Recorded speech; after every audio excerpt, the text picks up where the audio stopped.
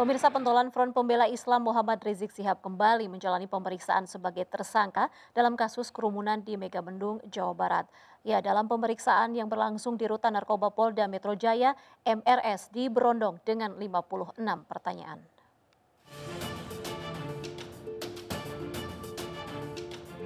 Pemeriksaan terhadap Muhammad Rizik Sihab ini dilakukan penyidik Mabes Polri dan Polda Jawa Barat di Rutan Narkoba Polda Metro Jaya.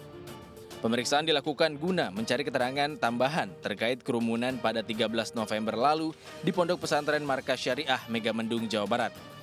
Sedikitnya ada 56 pertanyaan yang dilayangkan penyidik kepada pimpinan FPI tersebut.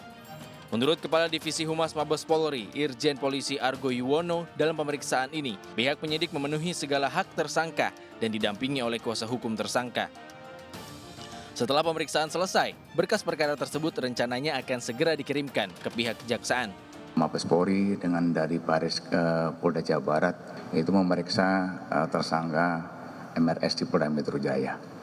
Ya tentunya kan dalam pemeriksaan nanti kita didamping oleh penasihat hukumnya, kita berikan hak sebagai tersangka seperti apa dalam pemeriksaan.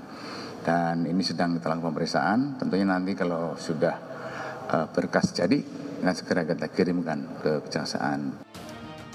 Seperti diketahui, pemimpin Front Pembela Islam Muhammad Rizik Syihab ditetapkan sebagai tersangka di dua kasus yang sama, yaitu menimbulkan kerumunan di masa pandemi di Petamburan, Jakarta, dan di Megamendung, Bogor, Jawa Barat. Baris Krim Polri mengambil alih kasus kerumunan tersebut lantaran peraturan yang diterapkan sama dan terjadi di dua wilayah. Dari Jakarta, Stephen Patinama, Raga Firdaus, iNews melaporkan.